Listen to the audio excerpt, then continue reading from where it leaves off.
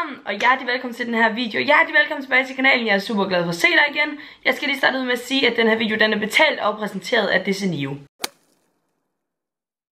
I dag der skal jeg lave en favoritvideo. Det er noget tid siden, jeg har gjort det, og det er der god grund til. Jeg har været frem og tilbage i København, Aalborg, der der dam og fået nyt værelse og skulle alle mulige forskellige ting. Øhm, og jeg har ikke rigtig sådan haft øh, skiftet favoritter, fordi jeg rigtig meget har brugt de samme, men så gik det op for mig, okay, jeg har faktisk ikke rigtig vist øh, de her favoritter, jeg nogle gange har haft, fordi jeg har brugt meget de samme ting i og med, at jeg sådan gerne ville have det som en fast hverdag, hvor at, da jeg var derhjemme hele tiden, der havde jeg tid til at prøve nye ting og gøre nye ting og sådan noget. Men i den her tid har jeg sådan nogle lidt anderledes favoritter også, så jeg tænkte, at det her det var lidt sjovt at lave sådan lidt speciel øh, favoritvideo, fordi jeg jo også sådan har skulle indrette det her, så det har også noget med det at gøre. Og i den her video skal vi faktisk også indrette lidt. Og dermed så kan vi lige så godt hoppe til min første favorit, som er nogle plakater fra Desenio. Jeg har tre forskellige, jeg gerne vil vise jer. Den første, som er den her ananas, bare fordi at jeg synes, den er hyggelig og sød.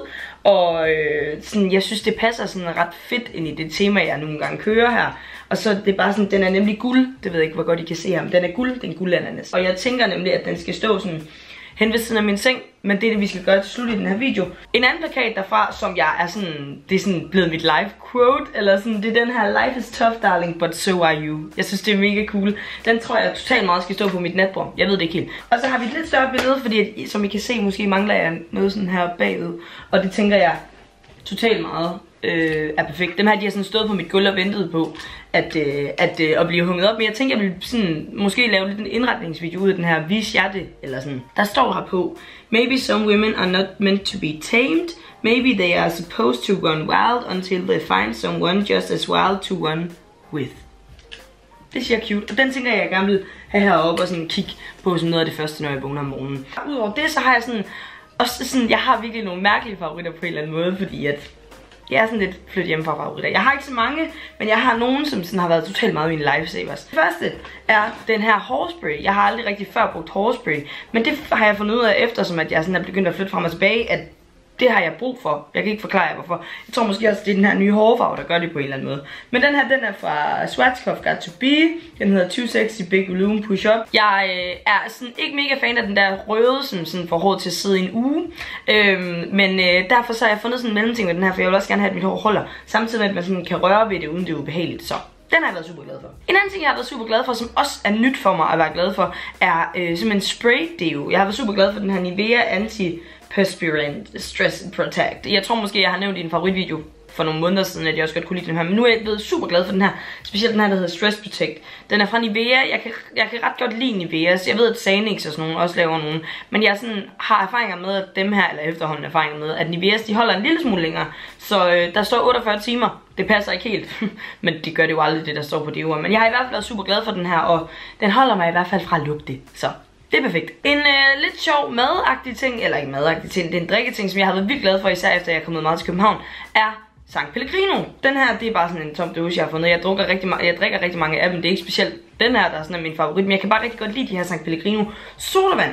Det er den her, den er med pomegranate og orange. Altså appelsin og øh, granatæble. Men super gode, super pæne, mega dyre, dårlig vane, men de smager så godt, og så føler man på en eller anden måde ikke, at det er lige så usundt som andet sodavand, og det er det sikkert, men jeg ved ikke, det smager lidt sundere, lyder det mærkeligt. Jeg har i hvert fald været super glad for at drikke San Pellegrino. Jeg har været vildt glad for et par solbriller, efter jeg er kommet herover, og jeg har fået mega mange spørgsmål på dem. Det er dem her, som er sådan lidt Kurt Cobain-agtige. De er mega beskidte, de er sygt beskidte. Jeg har sådan haft dem på til Distortion og Roskilde og i studenterugen og det ene og det andet, så de er sådan ret fedtede, men de er bare fra Asos, øh, og har den her sådan transparente kant. Jeg synes, de er mega nice og mega specielle, og så ser man sådan helt orange, når man har dem på. Det er sådan meget mærkeligt, men jeg er så glad for dem, og der har været mega mange spørgsmål på, hvor de er fra. De er fra Asos og kostede ikke mere end sådan noget 130 kroner. En anden lidt sjov ting, jeg har været glad for, som sådan også understreger, at det er sådan nogle andre ting, man begynder at sætte pris på, når nu man selv skal til at indrette, er øh, den her lille flodhest som jeg fik i Afrika på Kibuki Resort, som er sådan et, et øh, hotel, vi var på på et tidspunkt, som der var rigtig mange flodheste omkring.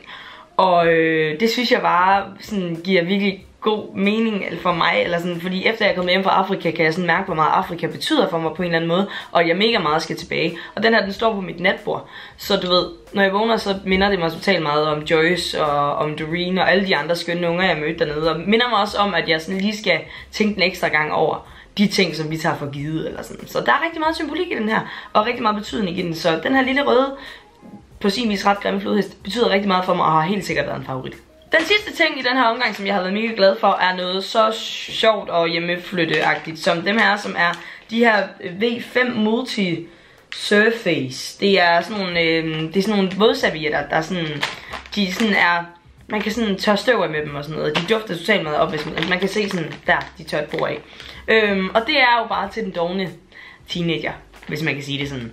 Jeg øh, er virkelig dårlig til at støve, jeg er virkelig dårlig til at gøre rent. Øhm, og der er dem her mega smarte, det er nogen mor har givet mig, og jeg er mega glad for dem. Og der er mega mange i, så der bliver bare ved med at være sådan, sådan renseservietter til vindueskammen. Fedt!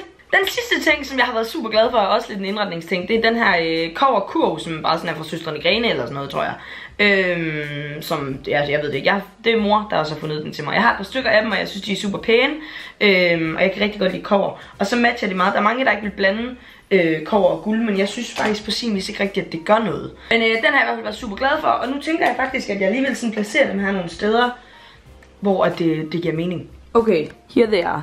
Den her, øh, som jo som sagt er en af mine yndlings, vil jeg sådan rigtig gerne faktisk placere her. Jeg fjerner lige min kaktus, som jeg ikke har taget ud af den der endnu. Super godt, Christine. Jeg er faktisk rigtig... Ej, det kan man sagtens. Kaktus foran, som jeg lige skal have taget ud af den der igen. Det ser sgu da hyggeligt ud. Så ligger jeg her og vågner. Life is tough, my darling, but so are you. Har vi ham her, ananasen. Og den synes jeg passer perfekt lige her. Til at stå sådan heroppe. Det er også det, der er smart, så kan de sådan stå op af. Det synes jeg faktisk er ret pænt. Hvis man sådan ser det her. Og sådan en kop kaffe lige her. Og så kan vi det store billede herop. Et stykke søm. Bumlum, som jeg lige har hængt op. Og tada! Bumlum. Så når min puder står rigtigt og sådan noget, så ser det perfekt ud. Ej, hvor nice. Mega optur. Men øh, det var faktisk alt for den her video. Jeg vil bare lige vise, at jeg satte dem op. Hvis du godt kunne tænke dig nogle plakater fra Disney så har jeg en rabatkode, som står nede i beskrivelsesboksen, som er fra den 18. Altså fra tirsdag til tirsdag. Det er tirsdag i dag til næste tirsdag, hvor du kan få nogle procenter ind på Disney øh, Og rabatkoden er dam, det står nede i beskrivelsesboksen, så gå ned og tjek det ud. Men det var sådan set alt for den her video. Tusind tak fordi du så med. Det er jeg vildt glad for. Husk at følge mig på Instagram, hvis ikke du gør det i forvejen. Husk at følge min offentlige Snapchat, hvis ikke du gør det i forvejen. Og så er der gerne tilbage at sige, at vi selvfølgelig ses meget snart igen. Ha' det fedt. Hej!